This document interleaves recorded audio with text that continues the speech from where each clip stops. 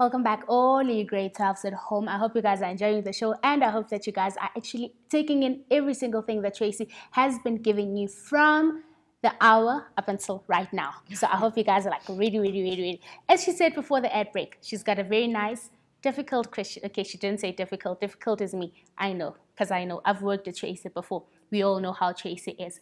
Anywho, we are on Facebook. Let us know anything that you guys have issues with. That is www.facebook.com forward slash mindset TV.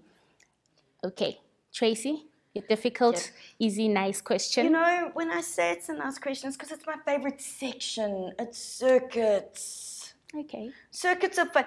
I granted I'm the only one who seems to think so, but these actually, and I wish I knew the learner who sent them in.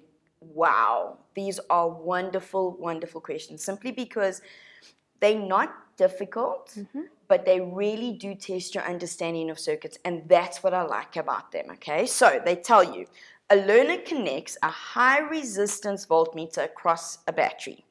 The voltmeter reads 6 volts. She then connects a 6 ohm resistor across the battery, and the voltmeter now reads 5 volts. So basically, what happened is we have our battery, okay, and we have a voltmeter over it, and then she connects a 6 ohm resistor on it. That's basically what she's done, okay? But by connecting the 6 ohm resistor, the voltmeter reading drops. So what we know here is that my EMF is 6 volts.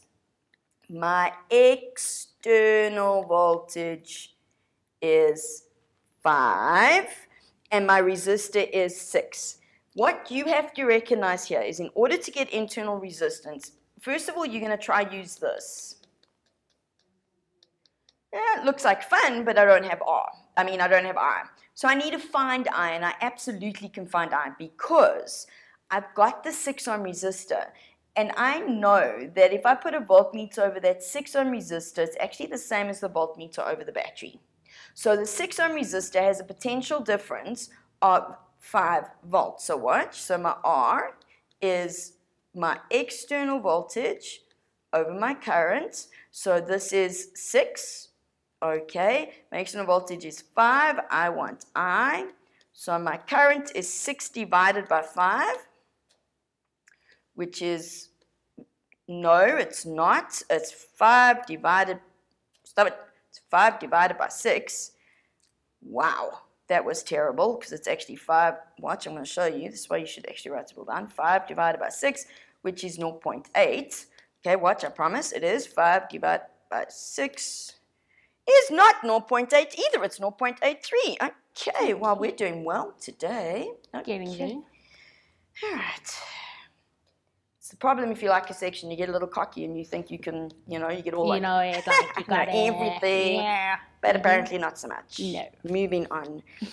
okay, so I know the current. Now, because I know the current, I can now go, well, V, okay, let's do it this way because I like to start with my normal. Re- so my internal resistance is V internal divided by current.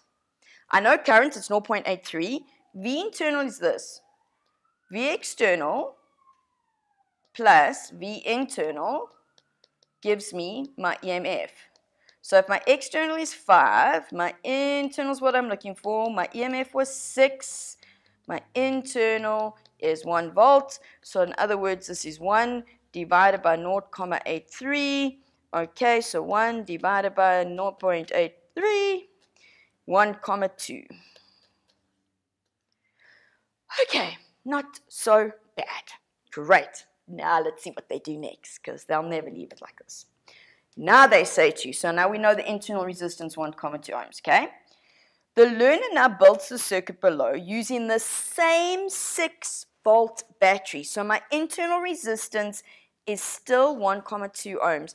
Internal resistance is a constant, okay? She connects an unknown resistor X in parallel to the 6 ohm. The voltmeter now reads 4.5 volts. Your external voltage, this is V external, will change. By adding the X in parallel, I've changed the current in the circuit. Okay, and by changing the current in the circuit, I change internal, internal voltage and external voltage. Now they ask you to calculate the resistance of X when, when the voltmeter reads 4.5 volts. We need to find the resistance of the external circuit. Okay, this one would be worth a lot of marks, okay, because if I find the resistance of the external circuit, that's actually my R parallel, and then I can work out X from there. But in order to work out that, I need current. So I'm going to do this. I'm going to go V, no, I'm not going to do that. I'm going to start with R. R equals V internal over current. My V internal, okay, is my EMF minus my external. It's the same 6 volt battery. Now that's four, four and a half. So that's one and a half volts now. Okay, it's not one, it's one and a half. R is 1 comma 2, that hasn't changed. I want I, so I is one and a half divided by 1.2. I did get it right this time. So that's 1.25 amps. I expect the current to go up because the total resistance decreased because I added resistors in parallel. Great. You're going, yay, now what do we do? Well, parallel section. I know the current going in there is 1.25. That is same as V parallel. So here I'm going to do, now this is the fun part of this. This all becomes a math problem. Watch here. My resistors in parallel, which is the 6 and the X together, which I'll do in a second, is my external voltage divided by my current. So that means it's 4.5 divided by 1.25. Okay, so 4.5 divided by 1.25 gives me 3.6 ohms. Not done. And this is where life gets fun. And this is where your calculators are really nice, okay? Because you don't stress about this in terms of fractions because now watch here.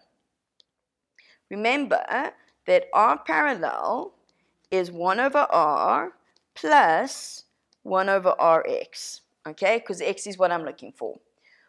R parallel is 3 comma 6. So 1 over 3 comma 6 is equal to 1 over 6 plus 1 over Rx. Okay, now it's a math problem. And you'd only get one mark for getting to this next part. So 1 over Rx is equal to 1 over 3 comma 6 minus 1 over 6. So watch what I'm going to get here. So I'm going to go 1 divided by 3.6 minus 1 divided by 6. Okay, let's just put that in um, so it's 1 over 9. Okay, that's 1 over 9. Okay, therefore, Rx equals 9 over 1, which is 9 ohms. And I can also do this. Let's go back there. It's 0.999. I turn it upside down, 9 ohms. Okay? All happen. How do I know if I'm right? Because now if I go 1 divided by 6 plus 1 divided by 9, and I turn it upside down, I get 3.6. I know I've got the right answer. Okay, not so bad. The thing you had to remember here was that your internal resistance is a constant. Okay, it, it, feels really strange with a battery, but your external voltage and your internal voltage is dependent on the current, which is actually dependent on your external circuit. Okay, and how you arrange your your your um, resistors. Okay, so um, okay, I did all the answers there. Let's not go there. And we didn't need that one because we're actually done with those. So, ha, ha. this question is one we chose because we haven't done power in a while. And it's quite important. powers from grade 11. So it says to us, in the diagram below, three light bulbs, A, B, and C, are connected in parallel to a 12 volt source of negligible internal, look at that, internal resistance, not important. Yay! Makes life so much easier. Now, the bulbs are rated 4, 6, and 10 watts respectively and are all at their maximum brightness. In other words, they are operating at 4 watts, 6 watts, 10 watts. Calculate the resistance of the 4 watt bulb. Wow. Now you look at this and you go, Oh, I know that resistance is V over I. Okay, I need I. Don't know I, but I know P. What's important here? The battery is 12 volts. The only thing in this circuit is the parallel section. That means that has 12 volts around over it, that has 12 volts around it, that has 12 volts. They're in parallel, they all have the same. So, now we go, I know the power, oh, no, it's not what I wanted to do. So, power has three equations. Power is V times I, power is I squared R, and power is V squared over R. Ooh, I don't know I, but I do know V. So if I use that equation and I go power is V squared over R, my power was 4, V is 12, okay, that means R is going to be 12 squared divided by 4, which is 36 ohms. Ah, not so bad. We're doing well, so we know this is 36 ohms. Ooh, okay, 36 ohms. Right, how will the equivalent resistance, in other words, total, of the circuit change if the 6 watt bulb burns out? Now, if the 6 watt bulb burns out, it's like us taking it out of the circuit. That's the same as me taking out a resistor in parallel. Now, when I take resistors out of parallel, I increase the total resistance. I put resistors in parallel to decrease the total resistance. I take them out to increase. That means the total resistance will increase. Great. Ooh. How will the power dissipated by the 10 watt and 6 watt bulb change if, change if the bulb cha if the bulb burns out? See, such a nice question because let's just go back to the equations over here that I had for power. If we look at this, I'm telling you that this is gone. This is operating at maximum power. Power staying the same, okay? It's still got a 12 volt battery. That hasn't changed. There was no internal resistance. So that 12 volts isn't going to change. V stays the same. Is R going to change? Nope. Power stays the same.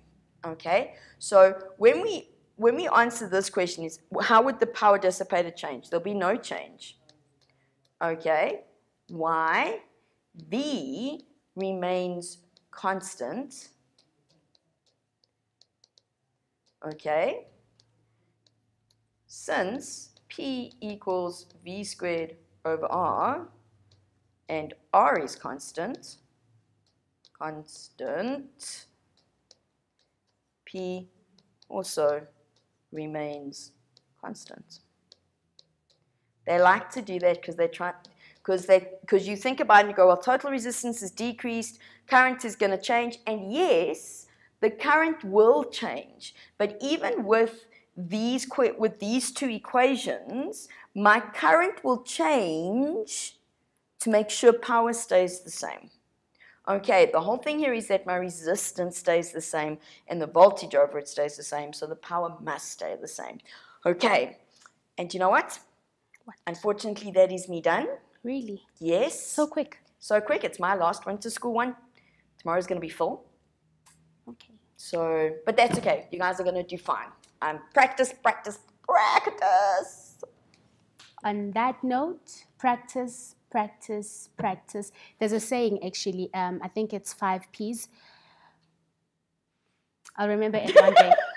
Remind me one day I'm gonna remember it. But I the remember five P's it. are practice, practice, practice, practice. Just practice. Just practice. yeah. anyway, thank you guys for tuning in and thank you guys for being such amazing guests. You guys rock more than myself and Tracy. From everybody here in studio, would like to say bye for now.